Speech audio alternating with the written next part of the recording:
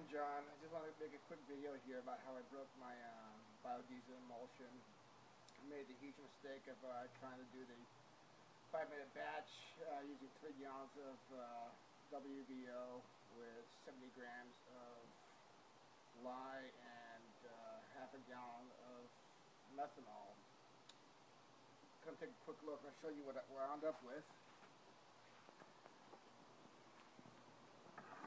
As you can see, it's a real mess.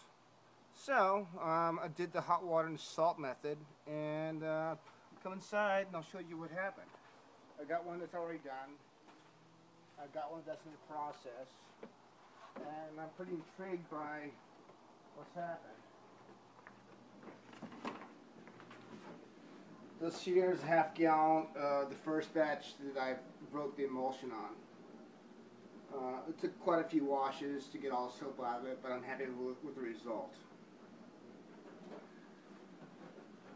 I don't usually do big batches, I think they're a pain. I don't want to buy all the equipment. Um, you see here the salt, my whisk, and the stock pot I used. All very low tech. Anyways, uh, took one of the uh, water jugs that has got the spigot on the bottom for ease of being able to decant the water with a, with a, a funnel. And yeah, um, have to mix it up and it looks really bad at first, like it's you're not going to recover it. Um, but with some patience, uh, most of all patience, uh, it works. I'm, I'm happy with it. Uh, it's a lot of work, but I enjoy it. I'm a nerd at heart. Um, Anyways, so yeah, give it a shot. Um, I don't measure ingredients, as my wife, who's filming me, will tell you. I kind of wing it, but um, very true.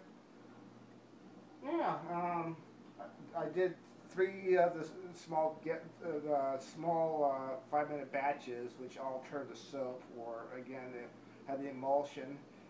And at the time, and the patience to uh, play with it, uh, much to my wife's discontent, because I messed up her kitchen, but she's got a good heart.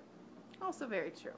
So, give it a shot. Um, it did the vinegar as well. Uh, that worked uh, pretty well. But uh, being able to watch the process and seeing what settles out, uh, it's nice to be able to recover uh, the biodiesel after a huge mess up. In, in, the past, I used to throw it away and start all over again.